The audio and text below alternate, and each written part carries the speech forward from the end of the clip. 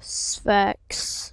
So in this video, we're going to be talking about Sphex, and um, he might be quitting YouTube. Now he said in his uh, I don't know, I think it was kind of like an apology video for all his clickbait.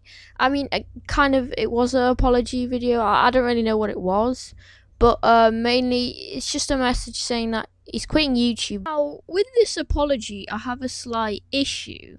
He said that, oh, depression is an option. At the end of the day, in my personal opinion, depression's a choice.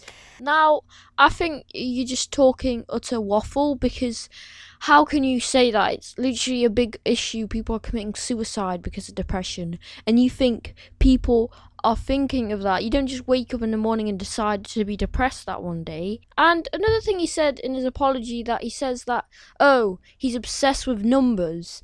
Mate, You've been obsessed with numbers the whole time. You can't deny that. You've always been obsessed with numbers. You've done so much stuff to get views. There are so many videos on exposing you.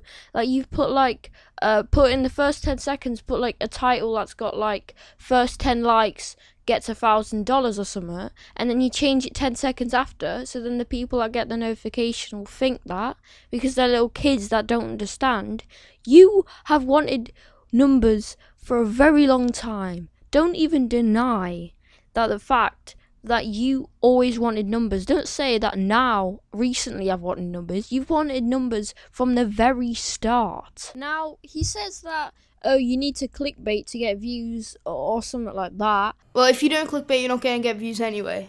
And yes, it's true, but the you don't have to there's levels of clickbait. There are big ranges of clickbait. There's misleading clickbait and just clickbait. And clickbait's the stem of youtube but misleading clickbait that is something that a lot of people hate. Everyone hates that. It's not a stem in youtube. There are tons of channels that don't mislead and they grow. Like for example jt he's got 100k he completely deserves that. And he didn't mislead anything yeah, uh, that was a bit of a short video, but yeah, I think that's all for today's video.